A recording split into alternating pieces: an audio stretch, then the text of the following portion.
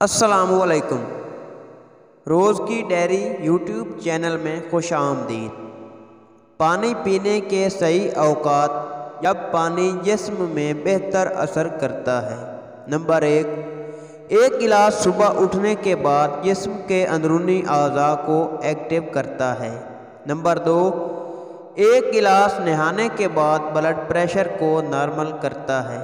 Number तीन दो गिलास खाना खाने से 30 मिनट पहले हाजमा बेहतर बनाने में मदद देता है।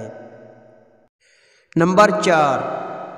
आधा गिलास सोने से पहले ब्रेन स्ट्रोक और हार्ट अटैक से महफूज रखता है। अगर आप अकवाल ज़री और मज़ीद अच्छी अच्छी वीडियोस हासिल करना चाहते हैं तो हमारे चैनल रोज़ की डायरी को सब्सक्राइब कर दें और बल नोटिफिकेशन को ऑन कर लें। ताकि आप मज़ीद अच्छी वीडियोज़ हासिल करते रहें।